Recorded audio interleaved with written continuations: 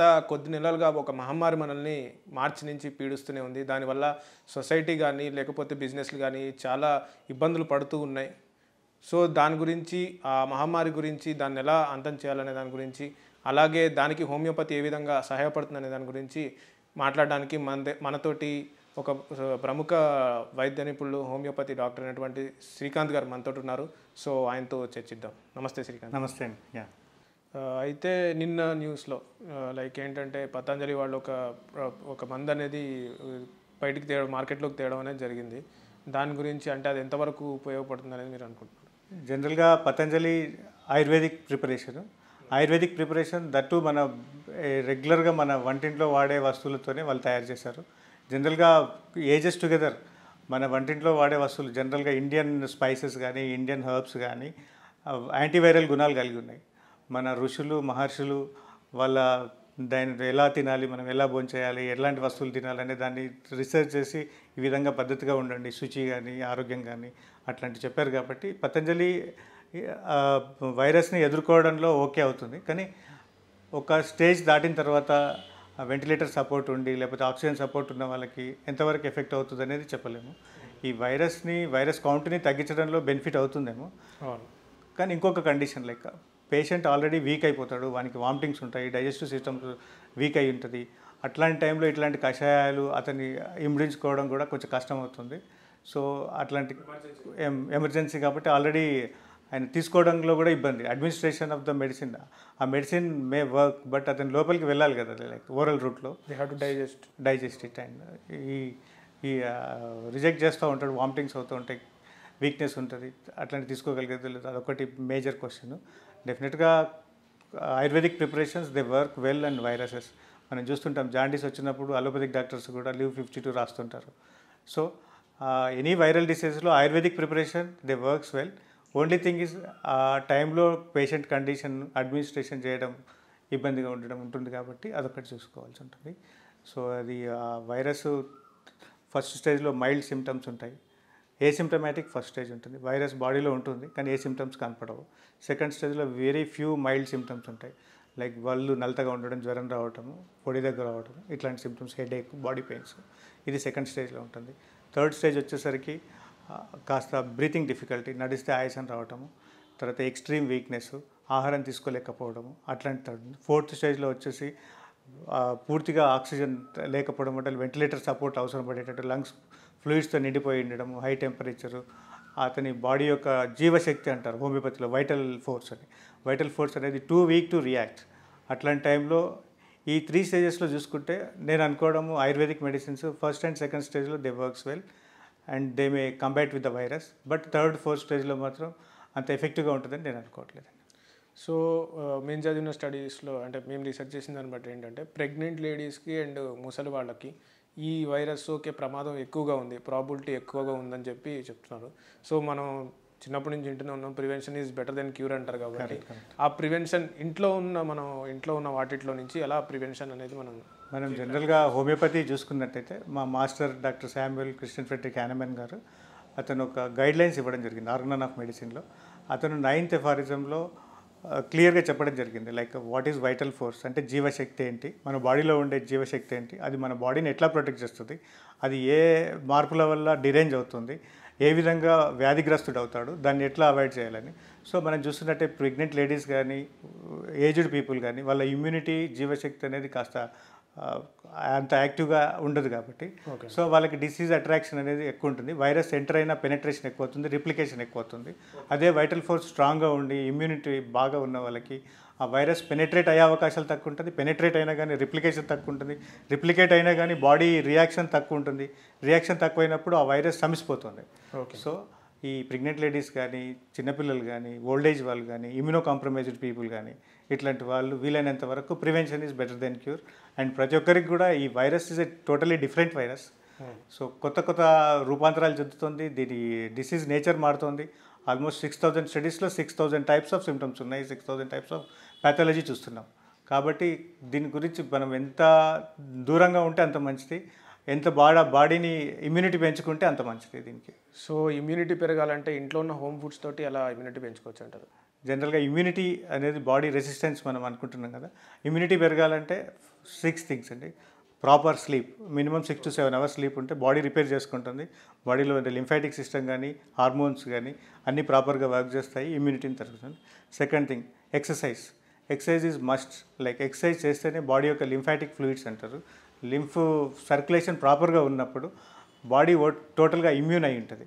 So exercise body stretching exercise are very important third thing వచ్చేసి sunlight exposure sunlight exposure వల్ల vitamin D దొరుకుతుంది. Vitamin డితో పాటు కొన్ని రకాలైన ఎండార్ఫిన్స్ అంటారు. అవన్నీ రిలీజ్ అవుతాయి. తర్వాత వైరస్ని సక్సెస్ఫుల్గా ఎదుర్కొనగలిగే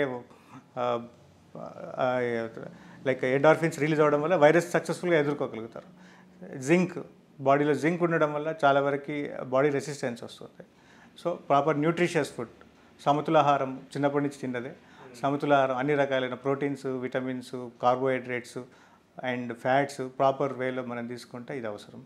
ఈ ఫైవ్ థింగ్స్ ప్రాపర్గా పాటించి హెల్తీ హ్యాబిట్స్తో ఉంటే ఇమ్యూనిటీ పెరుగుతుంది. ఇమ్యూనిటీ పెరిగినప్పుడు వైరస్ వైరిమియా తగ్గుతుంది బాడీలో పెనట్రేషన్ తగ్గుతుంది రిప్లికేషన్ తగ్గుతుంది.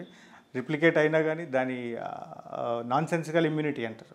జనరల్గా ఇప్పుడు జరిగేది ఈ- ఈ కోవిడ్ ఈ వైరస్లో బాడీ ఓవర్గా రియాక్ట్ అవుతుంది హైపర్ సెన్సిటివ్ అయిపోతుంది ఈడోసింక్రసీ అని హోమియోలో ఈడోసింక్రసీ అని ఒక వర్డ్ ఉంటుంది. ఓకే. సో ఈ ఓవర్గా రియాక్ట్ అవ్వడం వల్ల బాడీలో ఓవర్గా ఆ వైరస్ డ్యామేజ్ లంగ్స్ని చేయడం వల్ల ఫ్లూయిడ్ జామ్ అయిపోయి ఆక్సిజనేషన్ ప్రాపర్గా లేకుండా ఉండడం తర్వాత బ్లడ్ క్లాట్స్ ఫామ్ అవ్వడం ఎండోథీలియల్ డ్యామేజ్ అంటే బ్లడ్ వెజల్స్లో ఉండే లోపలి పొరని డ్యామేజ్ చేయడం వల్ల ఇవన్నీ కూడా ఏంటంటే ఓ నాన్సెన్సికల్ ఇమ్యూనిటీ బాడీ ఏదో ఆపద వస్తుంది అని ఓవర్గా ప్రొటెక్ట్ అయిపోతుంది ఓకే. సో దానివల్ల డ్యామేజ్ జరిగి డెత్ మనం చూస్తున్నాం కాబట్టి నాన్ సెన్సికల్ వైల్స్ ఇమ్యూనిటీ అనేది ప్రాపర్ వేలో గాడిలో ఉన్నప్పుడు మనం దీన్ని ప్రాపర్గా ఎదుర్కోగలుగుతాం. ఇప్పుడు అన్ని బిజినెస్లు ఓపెన్ అయిపోయినాయి. అందరు ఎంప్లాయీస్ అందరూ ఆఫీస్లోకి వెళ్తున్నారు. ఫిఫ్టీ పర్సెంట్ కూడా నాకు తెలిసి ఎక్కువ మంది దాన్ని ప్రైవేట్ కంపెనీలు అయితే నాకు తెలిసి అయితే దాన్ని అవలంబి లైక్ ఇంప్లిమెంట్ చేయట్లేదు. బేసిక్గా అందరిని పిలుస్తున్నారు అందరు వెళ్తున్నారు. సాఫ్ట్వేర్ వాళ్ళు తప్ప. సో ఇప్పుడు వీళ్ళు ఇంటికి రాగానే అంటే ఇంట్లో అందరూ ముసలి వాళ్ళు కానీ లేకపోతే మళ్ళీ ప్రెగ్నెంట్ లేడీస్ కానీ పిల్లలు కానీ ఉంటారు. సో వీళ్ళు జాబ్ నుంచి ఇంటికి రాగానే చేయాల్సిన పనులు ఏంటి ఇమీడియట్గా చేయాల్సిన యా. ప్రతి ఒక్కరూ ఈ కండిషన్లో ఇప్పటి ప్రజెంట్ కండిషన్లో వీఆర్ ఇన్ ఏ క్రైసిస్ లాగా ఫీల్ అవ్వాలి. ప్రతి ఒక్కరూ ప్రతి కదలిక అప్రమత్తంగా ఉండాలి. ఇంట్లో ఉన్నప్పుడు కానీ బయట ఉన్నప్పుడు కానీ ఇంటికి వచ్చాక కానీ ప్రతిదీ అప్రమత్తంగా ఉండాలి. Like we're living with virus at any stage it may damages and our family అనే విధంగా బిహేవ్ చేయాలి. సో బయట ఉన్నప్పుడు సోషల్ డిస్టెన్స్ మెయింటైన్ చేయడం మాస్క్ పెట్టుకోవడం అండ్ సర్ఫేసెస్ టచ్ చేయకుండా ఉండడం. సర్ఫేసెస్ టచ్ చేసిన హ్యాండ్ వాష్ లైక్ ఫ్రీక్వెంట్గా శానిటైజ్ చేసుకోవడం ఇది ఇంపార్టెంట్ ఇంటికి వచ్చిన తర్వాత వైరస్ క్యారీ చేస్తారు ఎన్విరాన్మెంట్లో ఉండే వైరస్ కాబట్టి బట్టల్ని వీలైనంత వరకు బయటే వదిలేసి ఓకే. సో ప్రాపర్గా హ్యాండ్స్ లెగ్స్ హెడ్ అంత ప్రాపర్గా వాష్ చేసుకొని ఇంట్లోకి వెళ్ళడం జరిగితే మంచిదండి ఇప్పుడు వరకు లైక్ వేరే యూట్యూబ్ వీడియోస్లో చూసినట్టయితే స్టీమ్ బాత్ వల్ల అలాగే వేడి నీటిలో స్నానం చేయడం వల్ల అలాగే ఈ బట్టలు ఏవైతే ఉన్నాయో అన్ని వేడి నీటిలో ఉతకడం వల్ల ఈ వైరస్ మనకి రాదు అని చెప్పి బయట చెప్పడం ఇది చాలా పెద్ద అపోహ అండి. ఇంతకుముందు చెప్పుకున్నట్టనే ఈ వైరస్ ఈ surviving up to ninety two degrees. Okay. So ninety డిగ్రీస్లో మనం స్నానం చేస్తే మన బాడీ కాలుతుంది కానీ వైరస్ చనిపోదు. సో అది పెద్ద అపోహ మిస్కన్సెప్షన్ సో అట్లాంటివి ఏది కూడా ఈ వైరస్ని డ్యా డ్యామేజ్ చేసేవి కానీ కాదు. సెకండ్ థింగ్ చాలామంది అపోహతో ఈ శానిటైజర్ వర్క్స్ అండ్ వైరస్ ఇది చనిపోతుందని శానిటైజర్ తాగుతూ తాగేస్తే లోపల వైరస్. దానివల్ల లంగ్ టిష్యూ అనేది చాలా సెన్సిటివ్గా ఉంటుంది. ఈ శానిటైజర్లో ఉండే కంటెంట్స్ని లంగ్ టిష్యూ డ్యామేజ్ ఆ విధంగా డెత్ అవుతుంది కాబట్టి ఇట్లాంటి మిస్కన్సెప్షన్స్ని దూరంగా ఉండాలి. టెంపరేచర్ వల్ల వైరస్ చావట్లేదు సో దాని ప్రా ఎట్లా ల్యూక్వామ్ వాటర్తో స్నానం చేయడం వల్ల సమ్ బ్లడ్ సర్క్యులేషన్ అది ఇంప్రూవ్ అవుతుంది. బాడీ లింఫాటిక్ సిస్టమ్ యాక్టివేట్ అవుతుంది. అట్లా కేర్ తీసుకోవచ్చు కానీ ఇట్లా బాగా కోల్డ్ వాటర్ బాతింగ్ అవి అవాయిడ్ చేయడమే బెటర్ అట్లా. ఇప్పుడు ఈ పెట్స్ వల్ల పెట్స్ వల్ల ఏమన్నా వైరస్ సంక్రమించే ప్రాబిలిటీ ఉందా? యా రీసెంట్ స్టడీస్లో బెల్జియంలో చూసినట్టయితే క్యాట్స్కి వైరస్ వచ్చినట్టుగా తెలుస్తుంది. లైక్ పెట్ క్యాట్స్ ఇంట్లో ఉండడం వల్ల వాళ్ళ యజమానికి వచ్చి పెట్స్కి వచ్చినట్టు తెలుస్తుంది. కానీ dogs are immune to the virus అని తెలిసింది. అండ్ న్యూజే న్యూయార్క్లో కొన్ని టైగర్స్కి అండ్ లయన్స్కి ఈ వైరస్ వచ్చినట్టుగా తెలుస్తుంది. కానీ అవి స్ప్రెడ్ చేయడం అంటే సేమ్. మళ్ళీ అవి కూడా జలుబు దగ్గు సిమ్టమ్స్ ఉంటాయి. వాటి దగ్గర వెళ్ళినప్పుడు మళ్ళీ వ్యక్తులకు వచ్చే అవకాశం ఉంటుంది. పెట్స్కి క్యాట్స్లో మాత్రం చూసాము. డాగ్స్కి వచ్చినట్టుగా they are immune to this virus అనేది తెలిసిందండి. ఈ దోమల ద్వారా లేకపోతే దోమలు కుట్టి మనల్ని వేరే వాళ్ళు కుట్టి ఇప్పుడు ఈ మలేరియా డెంగ్యూ కానీ మలేరియా కానీ అట్లా సో అలా ఏమన్నా లైక్ వైరస్ స్ప్రెడ్ లేదు. ఈ virus main droplet infection naso respiratory tract వల్లనే ఇది స్ప్రెడ్ అవుతుంది. వేరే అదర్ రూట్స్లో ఇది రావట్లేదు. సో బాడీ మీద పడటం వల్ల మనం టచ్ చేయడం వల్ల రావట్లేదు. ఓన్లీ ఇన్ఫెక్ట్ అయిన పర్సన్ యొక్క సీక్రెషన్స్ ఎటిక్విట్ అంటారు. అంటే ఆయన చీమిడిలో కానీ ఆయన మాట తుంపర్లలో కానీ ఆయన దగ్గినప్పుడు కానీ తుమ్మినప్పుడు కానీ వచ్చే సీక్రెషన్స్లో మాత్రమే ఈ వైరస్ ఉంటుంది. అండ్ ఈ సెమెన్లో కూడా ఉన్నట్టుగా లేదు. Like with sexual contact also it is not happening. But in stools and స్టూల్స్లో కొన్ని ట్రేసెస్ కనపడ్డట్టు తెలుస్తుంది. ఓకే. సో వేరే main transmission so nasopharynx only. So అదొకటి మనం జాగ్రత్తగా ఈ ముక్కు భాగాన్ని నోటి భాగాన్ని ప్రాపర్గా కవర్ చేసుకొని దూరంగా ఉండి డ్రాప్లెట్స్ వేరే వ్యక్తి యొక్క డ్రాప్లెట్స్ మనకు పడనంత దూరంగా మనం మెయింటైన్ చేస్తే దీన్ని మనం ఎదుర్కోవచ్చు. ఈ న్యూస్ పేపర్స్ ద్వారా లిక్విడ్ మనీ ద్వారా మనం రోజు ట్రాన్సాక్షన్ అనేది జరుగుతూ ఉంటుంది. కరెక్ట్. సో దాని ద్వారా ఏమన్నా ఈ virus correct. Same thing like ఇప్పుడు మనం ఇంతకుముందు అన్నట్టుగానే ఈ వైరస్ అనేది పేపర్ మీద త్రీ టు ఫోర్ డేస్ ఉంటుంది. మనం ఏదైనా న్యూస్ పేపర్ కానీ ఈ కరెన్సీ కానీ ముట్టుకున్నప్పుడు ఆ- ముట్టుకున్న చేతుల్ని మన ఫేస్ భాగంలోకి తీసుకుపోకుండా ఉంటే మన వైరస్ మనకు అఫెక్ట్ అవ్వదు. అండ్ కరెన్సీ మనము కౌంట్ చేసినప్పుడు ఆ వైరస్ మే స్ప్రెడ్ లైక్ అంటే గాల్లో ఎగరొచ్చు. సో అప్పుడు ఇన్హేల్ చేస్తే అప్పుడు కూడా ప్రాబ్లం సో అట్లాంటప్పుడు ప్రాపర్గా మాస్క్ పెట్టుకోవడం అవసరం. ఎప్పుడు ఎవ్రీ టైం మనం ఏదైనా ఫారిన్ బాడీ మనకు తెలియని వస్తువు టచ్ చేసినప్పుడు మన చేతులని ముక్కు చెవులు గొంతు వీటి ద్వారా పోకుండా చూసుకోవడం చాలా అవసరం. ఈ మహమ్మారి నుంచి బయటపడడానికి ఏపీ ప్రభుత్వం కూడా ఆర్సెనికం అల్బమ్ అనే ఒక మందు అందరికీ లైక్ డిస్ట్రిబ్యూట్ చేయడం డిస్ట్రిబ్యూట్ చేయడం జరుగుతుంది. సో ఇది మందు ఎంతవరకు సేఫ్ ఎంతవరకు లైక్ ఈ మహమ్మారిని తరిమి కొట్టగలదు? Central council for research in homeopathy అనేది మన దేశంలో అత్యున్నత బాడీ లైక్ హోమియోపతి విషయంలో. ఆయుష్ మినిస్ట్రీలో అనుగుణంగా అది పనిచేస్తుంది. సిసిఆర్హెచ్ ఏప్రిల్ ముప్పై తారీఖున ఆర్సనికమ్ ఆల్బమ్ థర్టీ అనేది ఈ వైరస్ని కంబాట్ చేయగలుగుతుంది యాజ్ ఎ జీనస్ ఎపిడమిక్స్ అంటాం హోమియోపతిలో. ఏదైనా ఎపిడమిక్ స్ప్రెడ్ అయినప్పుడు అక్కడి యొక్క ఎపిడమిక్ యొక్క లక్షణాలు ఆ వైరస్ నేచరు తర్వాత దా వ్యక్తుల యొక్క స్వభావాన్ని బట్టి ఒక జీనస్ ఎపిడమిక్స్ అని యూనివర్సల్గా ప్రతి ఒక్కరికి ఆ ఔషధం ఇచ్చినప్పుడు వాళ్ళకి రెసిస్టెన్స్ వస్తుంది ఆ వైరస్ని తట్టుకోగలుగుతారు అనేది తెలుస్తుంది. లైక్ హ్యానమెన్ టైంలో ఎయిటీన్ ట్వెల్వ్లో స్కార్లెట్ ఫీవర్ అనేది యుఎస్ఏలో నెంబర్ ఆఫ్ డెత్స్ చూసేవాళ్ళు. హ్యానమెన్ వచ్చేసి ఆ- టైంలో బెల్లడోనా అనేది ఒక జీనస్ ఎపిడమిక్ అసలు ఇచ్చిన తర్వాత ఆ deaths came back to point one percent. Okay. It is declared in American journal of homeopathy so ఆ విధంగా నైన్ ఎయిటీన్ ట్వెల్వ్ నుంచి కూడా హోమియోపతి ఇట్లాంటి ఎపిడమిక్స్ని కంబైట్ చేయడంలో హండ్రెడ్ పర్సెంట్ సక్సెస్ఫుల్గా ఉంది. నైన్టీన్ ట్వంటీలో వచ్చిన స్పానిష్ ఫ్లూ కూడా యుఎస్లో ఇన్స్టిట్యూట్ ఆఫ్ హోమియోపతి అమెరికా వాళ్ళు దీన్ని స్ప్రెడ్ చేశారు. అక్కడ కూడా ట్రెడిషనల్ మెడిసిన్స్లో ఇచ్చిన వాళ్ళకి ట్వంటీ పర్సెంట్ డెత్స్ వస్తే హోమియోపతి మెడిసిన్ ఇచ్చిన వాళ్ళకి one point five percent mortality మాత్రమే చూసాం. సో ఆర్సినిక్ ఆల్బమ్ థర్టీ ఈ ఎపిడమిక్కి హండ్రెడ్ పర్సెంట్గా పనిచేస్తుంది అండ్ ప్రివెంటివ్గా పనిచేస్తుంది. ఈ ఈ డిసీజ్ నేచర్ చూస్తే కూడా డీడైమర్స్ రిలీజ్ అవ్వడం కానీ సైటోకిన్ స్ట్రోమ్ కానీ ఇవన్నీ కూడా ఆర్సినిక్ ఆల్బమ్లో హండ్రెడ్ పర్సెంట్గా ఉన్నాయి. చాలా స్టడీస్లో హండ్రెడ్ ఆర్సనిక్ ఆల్బమ్ మీద చేసిన స్టడీస్లో సెల్ లైన్స్లో ఈ ఇట్లాంటి ప్యాథాలజీ చూసాం. కాబట్టి ఈ సిమిలర్ ప్యాథాలజీ ఉన్న వైరస్ కాబట్టి ఆర్సనిక్ ఆల్బమ్ థర్టీ అనేది హండ్రెడ్ పర్సెంట్ దీన్ని ఎదుర్కోగలుగుతుందని అనుకుంటున్నారు. కొన్ని కేసెస్లో మాలగాం ఏరియా అని మహారాష్ట్రలో నియర్లీ ఫోర్ ల్యాక్ పీపుల్కి అక్కడ ఇచ్చారు. అక్కడ వైరస్ ప్రివలెన్స్ అనేది చాలా తక్కువగా చూసినాము ఓకే. అండ్ గుజరాత్లో గవర్నమెంట్ ఆఫ్ గుజరాత్ ఆయుష్ మినిస్ట్రీతో కొలాబరేట్ చేస్తూ sixteen hundred isolated people positive పేషెంట్స్కి ఆర్సనిక్ ఆల్బమ్ ఇచ్చిండ్రు. దాంట్లో only hardly eleven people got positive. So చాలా మంచి రిజల్ట్స్ వచ్చాయి ఆర్సనిక్ ఆల్బమ్ థర్టీతోని. హండ్రెడ్ పర్సెంట్ దీని మీద రిలై అవ్వచ్చు. Homeopathy works well in epidemics. ఈ ఎపిడమిక్కి arsenic album works well. And ఇటలీలో కొంతమంది క్యాంఫర్ వన్ అనే మెడిసిన్ ఇచ్చారు. అక్కడ కూడా మంచి రిజల్ట్స్ చూశారు. క్యూబా గవర్నమెంట్ కూడా హోమియోపతి కాంబినేషన్ ఆఫ్ మెడిసిన్స్ ఇచ్చారు. హోమియోపతిలో ఎట్లా అంటే సమ్ మెడిసిన్స్ ఉంటాయి. ఆ మైజ్మాటిక్ బేసిస్ మీద డిసీజ్ ప్రోగ్నోసిస్ మీద. క్యూబాలో వాళ్ళు లెప్టోస్పైరోసిస్ని టూ థౌజండ్ టూ థౌజండ్ టెన్లో చాలా బాగా కంటైన్ చేయగలిగారు. అదే ఎక్స్పీరియన్స్తోని ఈ వైరస్ కూడా వాళ్ళు ఒక విరిగో హోమ్ అనే ఒక కాంబినేషన్ మెడిసిన్ అక్కడ పీపుల్కి ఇచ్చారు. లక్ష ఎనభై వేల మందికి ఇచ్చారు. హండ్రెడ్ పర్సెంట్ వాళ్ళు సక్సెస్ అవ్వగలిగారు అక్కడ. సో హోమియోపతి ఇట్లాంటి ఎపిడమిక్స్లో బాగా సక్సెస్ఫుల్గా పనిచేస్తుంది. సో దీన్ని హండ్రెడ్ పర్సెంట్ రిలే అవ్వచ్చు. అంటే ఈ ఆర్సెనిక్ ఆల్బమ్ అనేది like is it for a cure or is it for a prevention yeah like prevention genus epidemics కింద ఇది వాడచ్చు.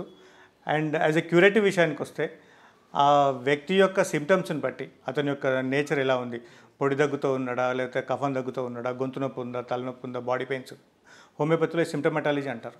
టోటాలిటీ ఆఫ్ సిమ్టమ్స్ తీసుకొని అతని యొక్క థర్స్ నేచర్ కొన్ని రకాల సిమ్టమ్స్ని బట్టి అతనికి ఏ మందు సూచించబడుతుందో అనుభవమైన హోమియోపతి వైద్యుడు సూచించగలుగుతాడు ఆర్సనిక్ ఆల్బము సిమ్టమ్స్ను కూడా కంబాట్ చేయగలిగింది. Like most of the symptoms ఇంతకుముందు చెప్పుకున్నట్టుగా ఆర్సనిక్లో అట్లాంటి సిమ్టమ్స్ ఉన్నాయి కాబట్టి ఆల్రెడీ అఫెక్ట్ అయిన పేషెంట్స్ పాజిటివ్ పేషెంట్స్ కూడా ఆర్సనిక్ ఆల్ వర్క్ చేసింది యాజ్ ఎ ప్రివెంటివ్ కూడా పనిచేస్తుంది. సో ఇప్పుడు లైక్ ఆర్సనిక ఆల్బమ్ ఏదైతే ఉందో అది ఇప్పుడు సపోజ్ ఏ స్టేజ్లో వాళ్ళు వేసుకుంటే ఎప్పటికల్లా అది వైరస్ అనేది మనకు దూరం అయ్యే ఛాన్స్. కరెక్ట్.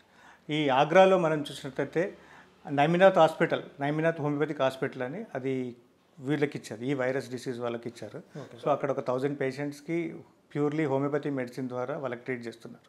అట్లాగే బెల్గాంలో బీడీ జెట్టి కాలేజ్లో కూడా ఒక homeopathy hospital they given some cases for study purpose and over the patients are willing for go to homeopathy.